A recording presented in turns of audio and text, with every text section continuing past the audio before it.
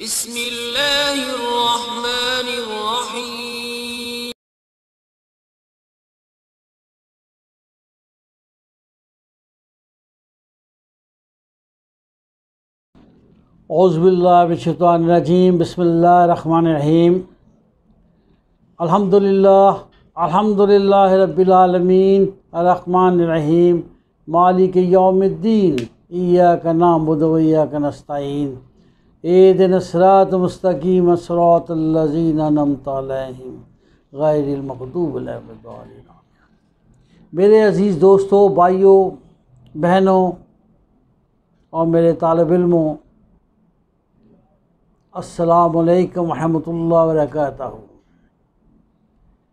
हमारा आज का अनुमान बहुत ही अहम है, जो हम रोज़मर्रा की ज़िंदगी में चीज़ों को इस्तेमाल करते हैं। उसको हमने दीन के साथ मिला के देखना है कि वो जो दुनियावी चीज़ें बनी हैं, उनमें दीन से क्या क्या चीज़ें आपने अखज़ की हैं। हमारा एक सब्जेक्ट होता था, मेरे तालब इलमों को याद होगा, जब वो मैं अकाउंटिंग पढ़ाता था, कि उसमें एक प्रिंसिपल अकाउंटिंग एक सब्जेक्ट होता था। और वो सब्जेक्ट बड़ा ही अहम है कि अकाउंटिंग में हम सब कुछ सीखते थे कि हमने बुक्स अकाउंट्स को किस तरह बनाना है। हमने कैश बुक कैसे लिखनी है, हमने लेजर कैसे बनाना है। उसके लिए भी एक कानून होता था। एक अकाउंटिंग एक क्वेश्चन होती थी। और वो क्या अकाउंटिंग क्वेश्चन थी? तो ये अकाउंटिंग क्वेश्चन ये थी capital plus liabilities is equal to assets capital plus liabilities is equal to assets capital क्या है? जो आपने सरमाया लगाया है। और लाइबिलिटीज़ क्या है? जो आपकी अदायगी है, जो आपके लोगों को पैसे अदा करने हैं। और इन दोनों को जब मिलाते थे, ये बनता था एसेट और दूसरी क्वेश्चन क्या होती थी? Income minus expenses income minus expenses is equal to profit और ये income minus expenses is equal to profit जो आता था, इसका फैक्ट भी इस कैपिटल के अंदर चला जाता था। और जब आपका प्रॉफिट होता था तो कैपिटल इंक्रीज हो जाता है। और जब अगर लॉस हो जाए तो कैपिटल डिक्रीज हो जाता है। ये हमारी अकाउंटिंग दो इक्वेशंस थी। और जिसके ऊपर पूरी प्रिंसिपल ऑफ़ अकाउंटिंग जो है बेस करती है।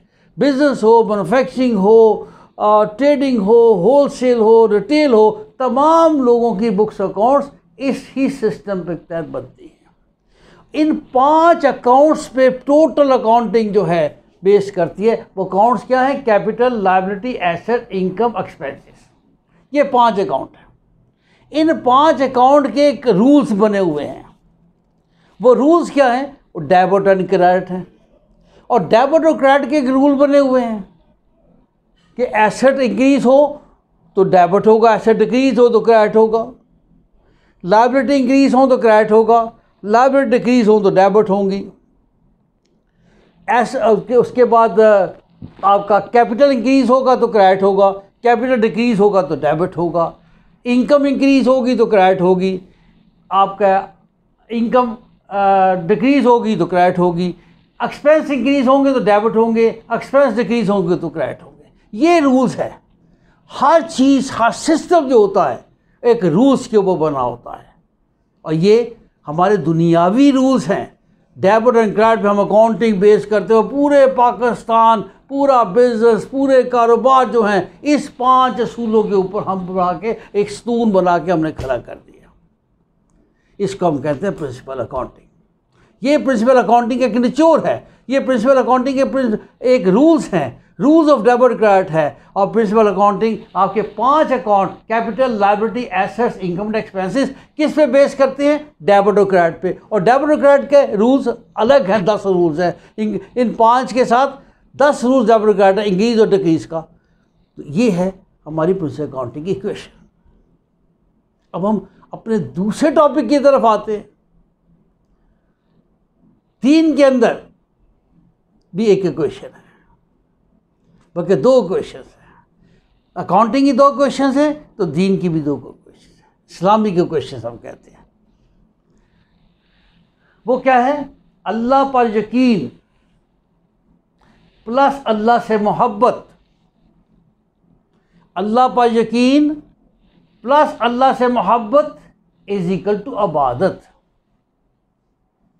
अल्लाह पर यकीन प्लस अल्लाह से मोहब्बत इज़ इक्वल टू अबादत और दूसरी क्वेश्चन वसीम साहब क्या है? कि नबी पाक सल्लल्लाहु अलैहि वसल्लम पर यकीन और नबी पाक सल्लल्लाहु अलैहि वसल्लम से मोहब्बत. मोहम्मद मुस्तफ़ा सल्लल्लाहु अलैहि वसल्लम से पर यकीन कि ख़ातमुल नबीन हैं। इस बात का पक्का यकीन कि ख़ातमुल नबीन है। और फिर सच्ची मोहब्बत मोहम्मद मुस्तफ़ा वसल्लम से हमने मोहब्बत करनी है। इन दोनों को मिला क्या बनता है? अबादत बनता है। अब देखें, उसमें मैंने बताया था कि प्रॉफिट का असर जो है, वो कैपिटल में चला जाता है। इसी तरह, जब आप अल्लाह से यकीन प्लस अल्लाह से मोहब्बत टू इबादत, और इसी तरह नबी पाक सल्लल्लाहु अलैहि वसल्लम पे यकीन और नबी पाक वसल्लम से मोहब्बत इजिकल टू इबादत। तो ये दोनों चीज़ें मुश्तरक हो जाती हैं। अल्लाह पे यकीन, नबी पाक वसल्लम पे से प्यार यकीन करोगे, नबी पाक वसल्लम से मोहब्बत करोगे, वो भी इबादत हो जाएगी। और ये इबादत और अल्लाह की इबादत को मिला के ये आपकी टोटल इबादत बनेगी। ये नहीं हो सकता कि आप अल्लाह की इबादत कर लें, मोहम्मद मुसा वसल्लम के असूलों को छोड़ दें, या सिर्फ़ मोहम्मद मुसा वसल्लम की, के असूलों को अपना लें, या उनसे मोहब्बत कर लें अल्लाह की मोहब्बत छोड़ दें। नहीं। ऐसा नहीं। दोनों चीज़ों को, दोनों क्वेश्चन को हमने बराबर करना है। और वो क्या क्या है? कि अल्लाह पे यकीन, अल्लाह से मोहब्बत और नबी पाक सल्लल्लाहु अलैहि वसल्लम पे यकीन और नबी पाक से मोहब्बत, फिर इबादत होती है। तो अब हम आएँगे इन पॉइंटों पे कि अल्लाह पर यकीन क्या चीज़ है। अल्लाह पर यकीन क्या चीज़ है और अल्लाह से मोहब्बत कैसे करनी है। सिर्फ़ ये कह देना कि अल्लाह एक है। अल्लाह पे यकीन नहीं हो जाता। और अल्लाह पे यकीन जब होता है तो उसका एक चीज़ याद रखिए अल्लाह पे जब यकीन कामल हो जाता है तो दिल में यकीन होगा। अगर दिल पे यकीन होगा तो अमल भी उसके मुताबिक होता है। दिल पे यकीन है तो फिर अमल भी उसके मुताबिक होना चाहिए। ये बड़ी गहरी बात मैं कर रहा हूँ कि दिल पे, दिल में यकीन कि अल्लाह पे यकीन है मुझे तो फिर उसका अमल भी उसके मुताबिक होना चाहिए। और जो साबित करे कि आपको अल्लाह पे यकीन है। इसकी बहुत सी एग्ज़ाम्पल्स हैं। अल्लाह के यकीन की एग्ज़ाम्पल सबसे बड़ी एग्ज़ाम्पल जो लोगों ने अल्लाह पे यकीन किया, उन्होंने क्या क्या पाया? यकीन करना है तो फिर अल्लाह की ज़ात पे यकीन करना दूसरा है दूसरा है अपना अल्लाह पाक से बैठ जाओ सीधा। अल्लाह पाक वसल्लम से मोहम्मद वसल्लम से पर यकीन और मोहम्मद वसल्लम पे से मोहब्बत तो फिर आपकी इबादत बनती है। तो इसलिए इसलिए अब हमने जो नेक्स्ट टॉपिक है हमारा, वो सबसे अहम जो है, वो यही है कि अल्लाह पर यकीन और का मतलब क्या है। अब हम सबसे पहले आते हैं अल्लाह पे यकीन का मामला। अल्लाह पे यकीन का तलक जहाँ तक है, उसको बड़ा गौर से देखना आपने। हम ये गलत कर, समझ बैठे हैं कि हम सिर्फ़ ये कह दें से इतना कर लें कि अल्लाह एक है। हम ये पढ़ते हैं, अय्या का नाम बदो, अय्या का नस्ता अल्लाह तेरी ही इबादत करते हैं और तुझी से मांगते हैं। ये तो हम हर रोज़ पाँच दफ़ा कहते हैं, पाँच टाइम कहते हैं। लेकिन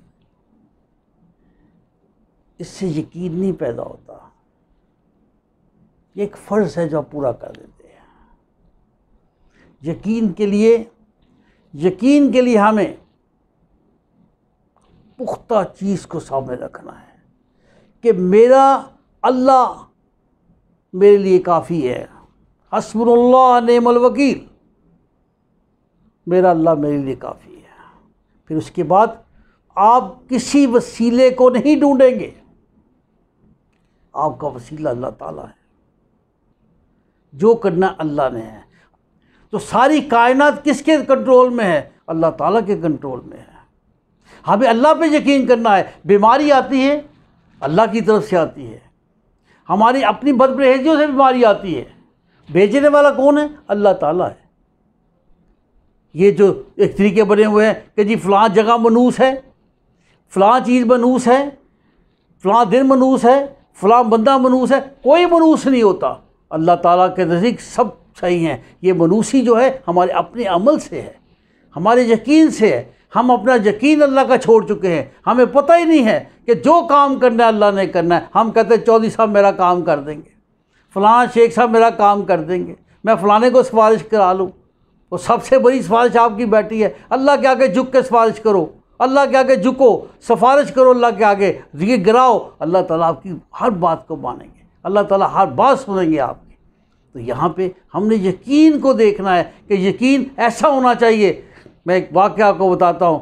हज, ख्वाजा निज़ामुद्दीन रहमतुल्लाह अलैह ने अपने दौर में देखो सात शहनशाहों का ज़माना देखा है। और यकीन अपने रब पे इतना कि उनके दरबार में जाना तो कुजा, कि आप किसी बादशाह के दरबार में चले जाते। ना, किसी शहनशाह, किसी बादशाह को इजाज़त नहीं थी कि उनके हुजरे में आ सके। एक बादशाह ने कहा कि मैं तो ज़बरदस्ती आ जाऊँगा। आप कौन होते हैं मुझे रोकना है? मैं ज़बरदस्ती आऊँगा आपको मिलने के लिए, आपकी कमर कदम बोसी के लिए। तो आपने उसका जवाब क्या लिखवाया? कि जाओ, शहनशाह को कह दो कि इस दरवेश ने, इस फ़कीर ने अपने घर के दो दरवाजे रखे हुए हैं। तुम एक दरवाजे से आओगे, दरवेश दूसरे दरवाजे से निकल जाएगा। इसी तरह का एक वाक्य है। अजबू अली कलंदर, बादशाह ने कहा कि मैं आपके हुजरे के लिए कुछ गाँव की ज़मीन आपके खानका के लिए देना चाहता हूँ। उन्हें कहा, जाओ बादशाह को पैगाम दे दो। मैं सिर्फ़ अपने रब से माँगता हूँ, मैं किसी का मोहताज नहीं हूँ। ये है यकीन अल्लाह पे। अल्लाह पे यकीन करोगे, आपके काम होंगे। पुख्ता यकीन कि मेरा दुनिया का मालिक अल्लाह ताला है। आखरत का मालिक अल्लाह ताला है। ज़मीन सात आसमानों का मालिक अल्लाह ताला है। सात ज़मीनों का मालिक अल्लाह ताला है। सात समुंदों का मालिक अल्लाह ताला है। हर ज़रे का मालिक अल्लाह ताला है। कोई पत्ता नहीं हिल सकता अल्लाह की इजाज़त के बगैर, अल्लाह के हुक्म के बगैर कोई चीज़ नहीं हिल सकती। तो ये यकीन आपने पैदा करना है। तब आपका यकीन बनता है। देखें एक चीज़ और मैं आपको बता दूँ। अल्लाह पर यकीन करें और अल्लाह से तौबा करें। अपने माजी के गुनाहों की तौबा कर लें। और इसके लिए सूरह सूरह अलमान के अंदर अल्लाह ताला फरमाते हैं, आयत नंबर आठ में, ए हमारे रब, दुआ है ये, दुआ अल्लाह ताला ने फरमाई है, ए हमारे रब, हदायत देने के के बाद हमारे दिलों को ना फेर दीजिएगा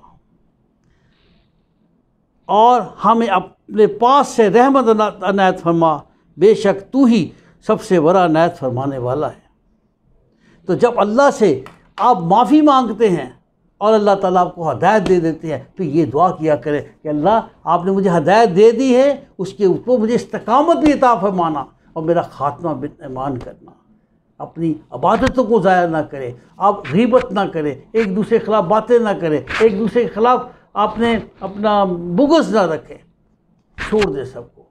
आगे चल के मैं आपको उसको एक्सप्लेन करूँगा कि भी ये जो है अपना मोहब्बत से क्या मुराद है। अल्लाह ताला से मोहब्बत से क्या मुराद है? अल्लाह ताला मोहब्बत का मतलब क्या आप समझते हैं कि अल्लाह से मोहब्बत कैसे होगी?